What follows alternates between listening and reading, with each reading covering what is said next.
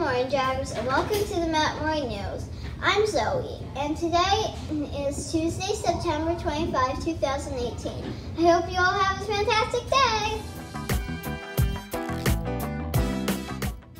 I'm Redding, and today for lunch there will be beef stew, old bene, broccoli, and lentil soup. Remember to thank our Healthy Kitchen staff for their really helpful work.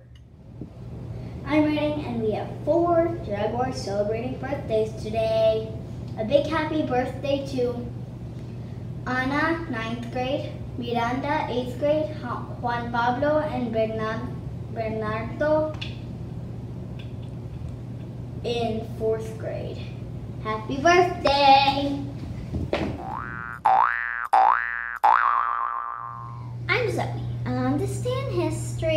Mm, the Spanish explorer Vasco Nuñez de Balboa crosses the Panama Isthmus, becoming the first European to see the Pacific Ocean in 1513.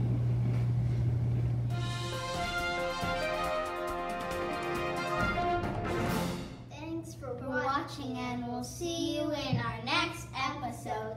Don't forget to be happy.